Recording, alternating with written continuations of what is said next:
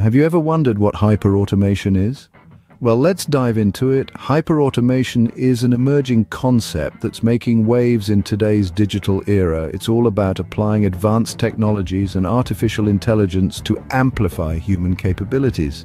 It's not about replacing humans, but rather it's about enhancing our abilities and efficiency. It's about making us smarter, faster, and more innovative. So hyperautomation is not just about automating tasks, it's about enhancing human capabilities with technology.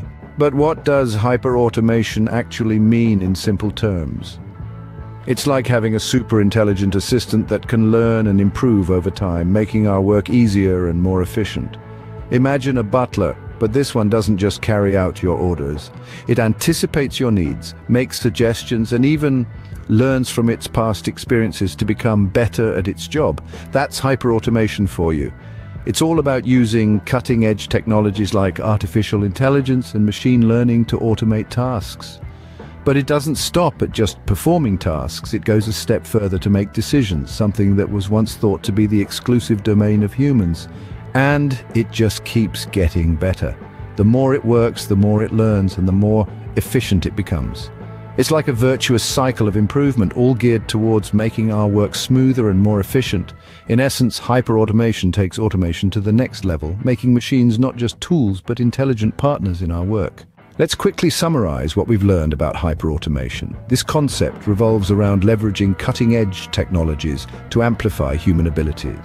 It's not just about automating routine tasks, but also making informed decisions and learning from past experiences. Picture a super intelligent sidekick making our work more streamlined and efficient.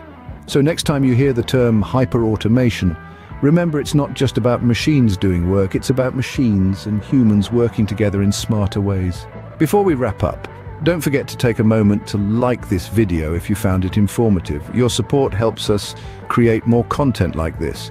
And if you're interested in staying up to date with the latest tech trends, consider subscribing to our channel. We've got plenty more content coming your way. Thanks for watching and remember to stay tuned for more on the future of technology.